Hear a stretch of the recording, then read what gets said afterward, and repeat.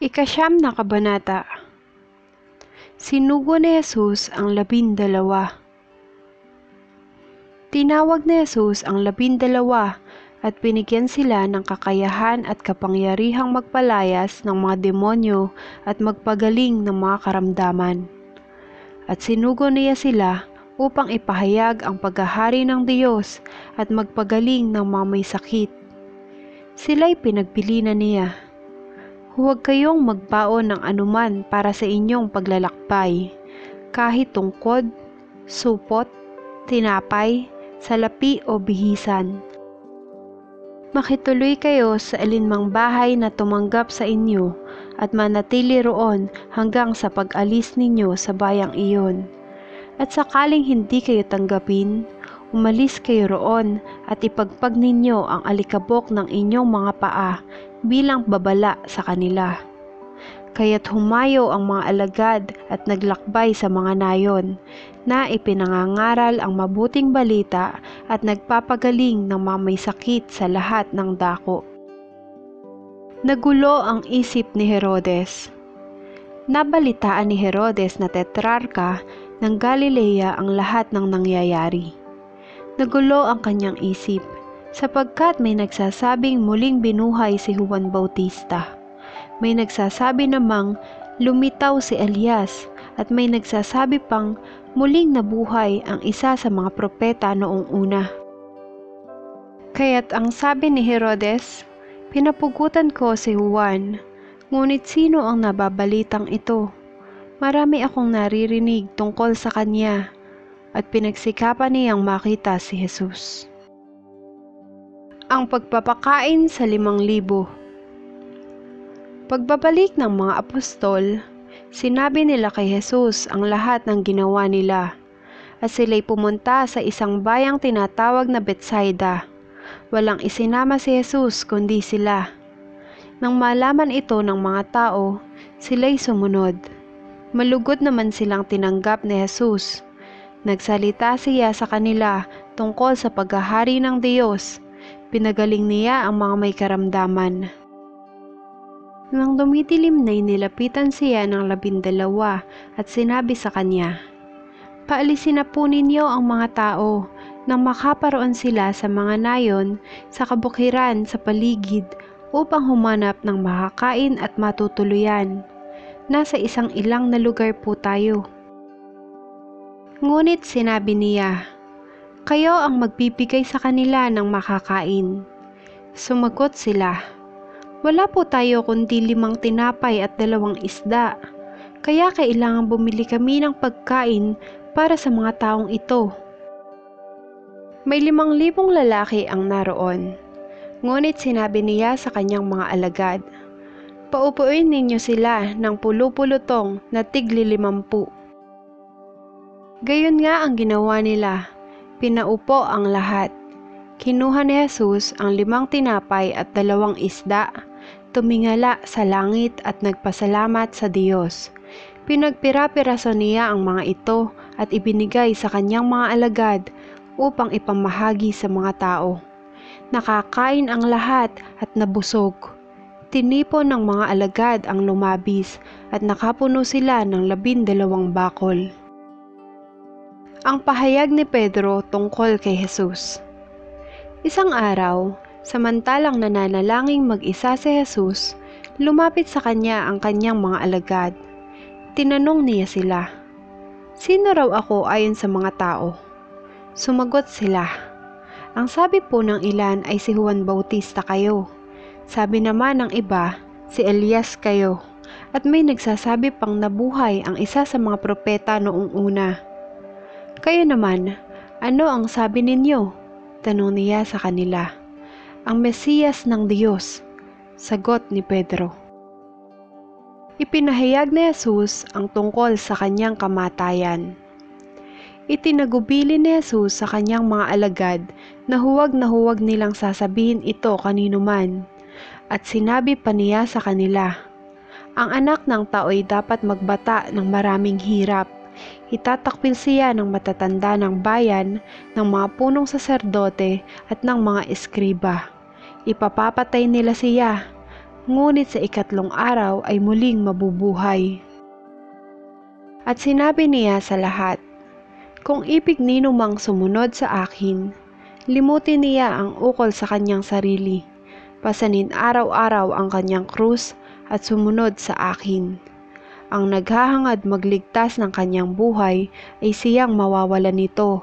Ngunit ang mag-alay ng kanyang buhay, alang-alang sa akin, ay siyang magkakamit noon. Ano nga ang mapapala ng tao?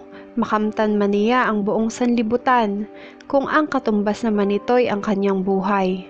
Ano nga ang mapapala niya kung siya'y mapapahamak? Kapag ako at ang aking mga salita ay kinahiya ni numan, ikahihiya rin siya ng anak ng tao pagparito niya na taglay ang kanyang karangalan at ang karangalan ng Ama at ng mga banal na anghel. Tandaan ninyo, may ilan sa inyo rito na hindi mamamatay hanggat hindi nakikita ang paghahari ng Diyos. Nagbagong anyo si Jesus. Walong araw pagkatapos sabihin ito, umakyat si Jesus sa bundok upang manalangin. Isinama niya sina Pedro, Juan at Santiago. Samantalang siya nananalangin, nagbago ang anyo ng kanyang mukha, nagningning ang kanyang kasuotan na naging puting-puti. Di kaginsa-ginsay lumitaw ang dalawang lalaki, sina Moises at Elias, na napakitang may kaningningan at nakipag-usap sa kanya. Pinag-usapan nila ang nalalapit na pagpanaw ni Jesus na magaganap sa Jerusalem. Tulog na tulog si Pedro at ang kanyang mga kasama. Ngunit sila'y biglang nagising at nakita nila si Jesus na nagniningning at ang dalawang lalaking nakatayo sa tabi niya. Nang papaalis na sa tabi ni Jesus ang mga lalaki, sinabi ni Pedro, Guro, mabuti pa'y dumito na tayo. Gagawa po kami ng tatlong kubol, isa sa inyo, isa kay Moises at isa kay Elias. Ang totoo'y hindi niya nalalaman ang kanyang sinasabi. Nagsasalita pa siya nang matakpan sila ng isang ulap at sila'y natakot. At may isang tinig mula sa alapaap na nagsabi, Ito ang aking anak, ang aking hinirang, siya ang inyong pakinggan. Nang tumigil ang tinig, nakita nilang nag-iisa na si Jesus at hindi muna sinabi ng mga alagad kanino man ang kanilang nakita. Pinagaling ni Jesus ang isang inaalihan ng masamang espiritu. Kinabukasan, bumaba sila mula sa bundok at si Jesus ay sinalubong ng napakaraming tao. May isang lalaki roon sa karamihan na sumisigaw ng ganito. Guro, pakitingnan po ninyo ang kaisa-isa kong anak na lalaki. Inaalihan siya ng isang espiritu at bigla na lamang sumisigaw. Pinangingisay siya nito hanggang sa bumula ang kanyang bibig. Sinasaktan siya at ayaw iwanan. Ipinamanhi ko po sa inyong mga alagad na palayasin ang espiritu, ngunit hindi nila magawa. Sumagot si Jesus, Lahing napakasama at walang pananampalataya. Hanggang kailan pa ako dapat manatiling kasama ninyo? Hanggang kailan ko kayo pagtitiisan? At sinabi niya sa lalaki, Dalhin mo rito ang iyong anak. Samantalang lumalapit ang bata, siya'y inilugmok sa lupa at pinangisay ng demonyo. Pinagwikaan ni Jesus ang masamang espiritu, pinagaling ang bata at ibinigay sa kanyang ama. At nang gilalas ang mga tao sa kapangyarihan ng Diyos. Muling binanggit ni Jesus ang tungkol sa kanyang kamatayan. Samantalang nanggigilalas ang mga tao sa lahat ng ginawa ni Jesus, sinabi niya sa kanyang mga alagad, Tandaan ninyo itong sasabihin ko. Ipagkakanulo ang anak ng tao. Ngunit hindi nila ito naunawaan, pagkat inilingid ito sa kanila. Nangangamba naman silang magtanong sa kanya kung ano ang ibig sabihin niyon. Sino ang pinakadakila Minsay nagtalo-talo ang mga alagad kung sino sa kanila ang pinakadakila. Batid ni Jesus ang kanilang iniisip, kaya tinawag niya ang isang maliit na bata at pinatayo sa tabi niya. At sinabi niya sa kanila, Ang sino mang tumatanggap sa batang ito alang-alang sa akin ay tumatanggap sa akin. At sino mang tumatanggap sa akin ay tumatanggap sa nagsugo sa akin. Ang pinakaaba sa inyong lahat ay siyang pinakadakila. Kapanig natin ang hindi laban sa atin. Sinabi ni Juan, Guro, nakita po namin ang isang taong nagpapalayas ng mga demonyo sa pamamagitan ng pangalan ninyo. Pinagbawalan namin siya sapagkat siya hindi natin kasamahan. Ngunit sinabi ni Jesus, Huwag ninyo siyang pagbawalan, sapagkat ang hindi laban sa atin ay kapanig natin. Hindi tinanggap si Jesus sa isang nayon sa Samaria. Nang nalalapit na ang panahong iaakyat si Jesus sa langit, ipinasiya niyang pumunta sa Jerusalem. Sinugo niya ang ilan upang mauna sa kanya. Humayo sila at pumasok sa isang nayon sa Samaria upang ipaghanda siya ng matutuluyan. Ngunit ayaw siyang tanggapin ng mga Samaritano sapagkat siya'y patungo sa Jerusalem. Nang makita ito ni na Santiago at Juan ay kanilang sinabi, Panginoon, payag ba kayong magpababa kami ng apoy mula sa langit upang pugnawin sila? Ngunit bumaling siya at pinagsapihan sila. Hindi ninyo alam kung anong uri ng espiritu ang sumasa inyo, sabi niya.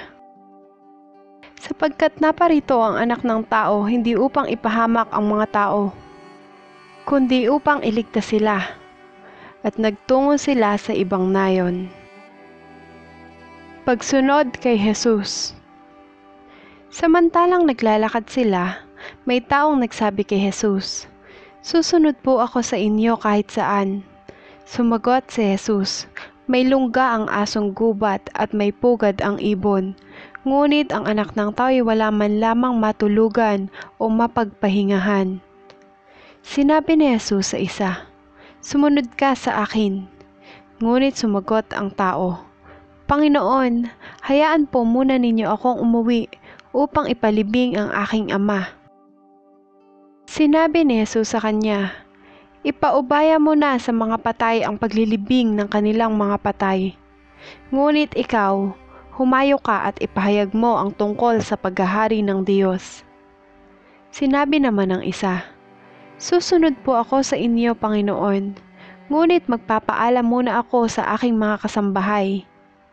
Sinabi sa kanya ni Jesus, ang sino mang nag-aararo at palaging lumilingon ay hindi karapat-dapat sa paghahari ng Diyos.